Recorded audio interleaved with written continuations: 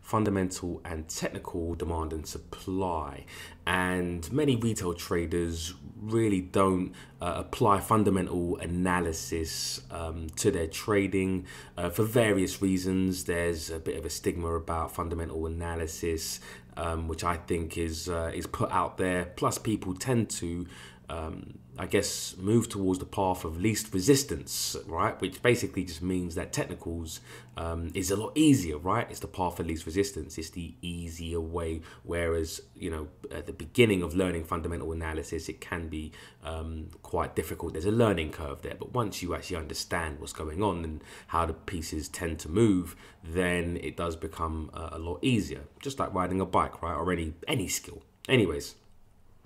Combining fundamental and technical demand and supply um, really, I think, is imperative for your, you know, trading success, and it's because if you, you know, if the two aren't aligned, there's no um, technical level that's really going to work, right?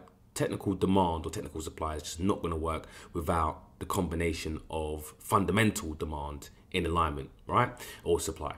So we're on natural gas, and fundamentally um, in November.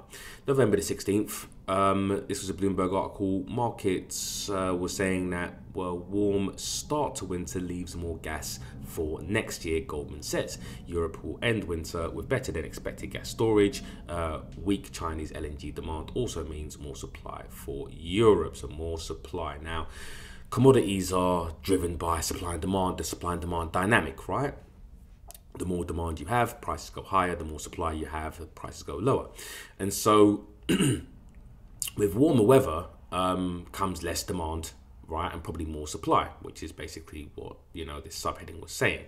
And um, and so, you know, the, the, the issue was that the exceptionally mild weather experienced in the northwest of Europe since October has led to a sharp drop in gas prices sooner than Goldman uh, expected, uh, the analyst said. And so, with, you know, warm weather affecting the supply and demand dynamic, right?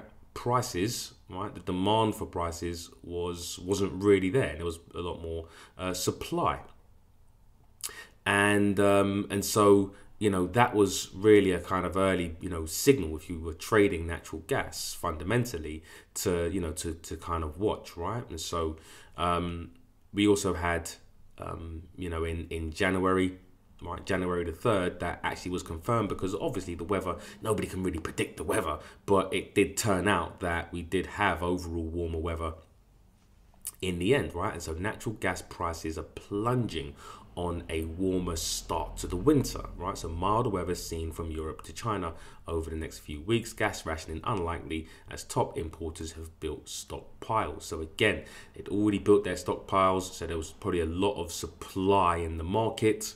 Yeah, more supply than demand because they built their stockpiles, right? And so when you actually then start to go forward and you know realize that um, uh, there was probably more supply, fundamental supply than demand. As I said before, there's no technical analysis level that's really going to stand in the way of fundamental uh, supply and demand, right? And so you've got varying levels of demand, right? Varying levels of what traders would, you know, draw in demand, right? So you've got demand in and around that zone here. You've got demand going way back to June 21, demand zone there, demand zone there, demand zone there, right? Now, doesn't necessarily matter exactly how you draw it, right? But there is demand in and around these areas here. However you draw, you know, technical demand or technical supply, but in this case, it would be technical demand. And so with fundamental demand not aligning with technical demand, trying to pick lows, right? Trying to pick the turning points, because that's pretty much what traders attempt to do, yeah, is practically in, not I wouldn't say impossible, right? You might do it by luck, but it's really not going to work out in your favor in terms of the probabilities, right? And you can see you know what happens. Now, there does come a point, and there always will come a point where um, liquidity needs to be sought, right? In terms of there's a build-up of liquidity above the market, and if there's not enough sellers to push price, you know, down in terms of sell orders and liquidity, then the market must look for sell orders above the market. Meaning,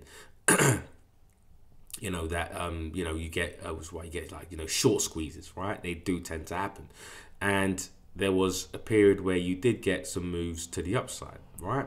And it did bounce off of actually the lower end of that demand zone, which was all the way back um, in October 2020. But who would have known that, right? In real time, you would have been, you know, taking loss after loss after loss after loss had you had been trying to time these demand zones, not aligning that the fundamentals are not aligned with that, you know, with the technicals, right? And so you do get finally a bit of a move higher, what I tend to refer as, you know, proof of value, yeah. But then, and I just want to just delete, you know, these uh, these uh, demand zones off the chart, right? Delete these demand zones off the chart. So you do get an area where there is now proof of value, right? Proof of value meaning that the prices prove that there is, you know, potential demand here. Now, when prices do come back to this area here, the question then becomes is why is natural gas, even though it was a bargain right here, there was definitely buyers getting involved in that area, right? Or less sellers getting involved in that area. Why is this, if prices do pull back to this area, why is this price likely to be a bargain, right? So has the fundamentals changed to the point where value, right, this becomes value. So price and value are two different things. Uh, price isn't always reflective of value and value doesn't always reflect uh, price or current price. That's why things are undervalued or expensive, right? Or cheap or a bargain price or expensive. Now, the question for traders would be is that a bargain price? Yeah. Now, again, if you don't understand fundamental analysis and why, you know, um, natural gas may not have been a bargain at that price, then you're likely being caught um, being caught out again at that level, right? So timing this was very difficult, right? You would have had to have gone through maybe about maybe seven, eight demand zones before you actually ended up maybe making some money on that if you managed to pick that low. And then when prices come back, again, the question becomes, is that a, you know, bargain? And obviously the market doesn't think so, right? There's no demand there. There's no fundamental demand for natural gas. And so if you do want to improve your, you know, your win rates, your, you know, just even the, the the assets that you actually trade and understanding the assets that you trade it is imperative that you understand fundamental demand right on a larger scale. Fundamental demand fundamental supply why there's likely to be more demand than supply or supply than demand. Understanding the dynamics of the asset that you're trading and not just look towards um, you know the technicals in order to determine your directional bias. Um, all right, take care, guys, and speak to you all soon.